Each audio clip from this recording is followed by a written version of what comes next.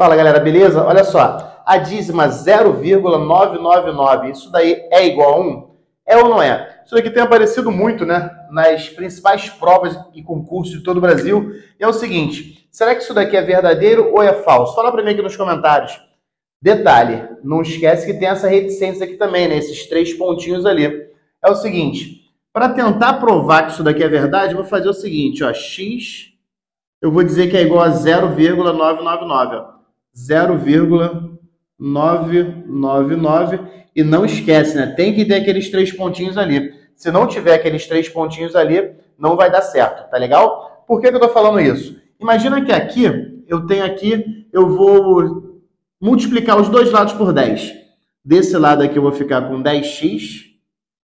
E do lado de lá, quando eu multiplico por 10, a vírgula anda uma casinha para a direita. Então eu vou ter 9,99 9 eu posso continuar. Ó. Por isso ali eu tenho uma dízima periódica. Continuando isso daqui, eu vou repetir esse 10x, ó, 10x.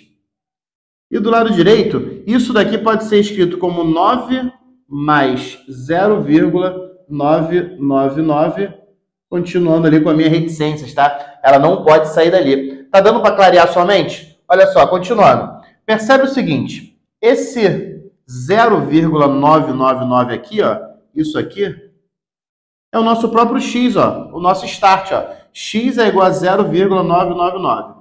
Multipliquei por 10 dos dois lados e aqui eu desmembrei, tá? Esse 9,999 eu escrevi como 9 mais 0,999, que isso daqui é o tal do x. Beleza, então eu vou reescrever sabendo que aquilo ali é x, ó. 10x é igual a 9 mais x. Essa equação aqui agora, se eu pegar esse x daqui, trouxer para esse lado, desse lado esquerdo aqui eu vou ficar com 10x menos x, tudo isso é igual a 9.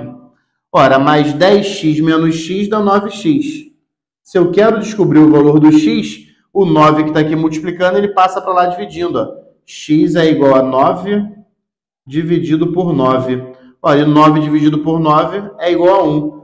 Ora, se x é igual a 0,999 reticências e x é igual a 1, significa dizer que isso daqui ó, é uma verdade, tá? Isso daqui é uma verdade, ou seja, a dízima periódica 0,999 é igual realmente a 1, beleza? Tamo junto. Se quiser estudar concurso completo aí de matemática e raciocínio lógico voltado para concurso público, o link está na bio, tá? Método Rei da Matemática. Vamos lá.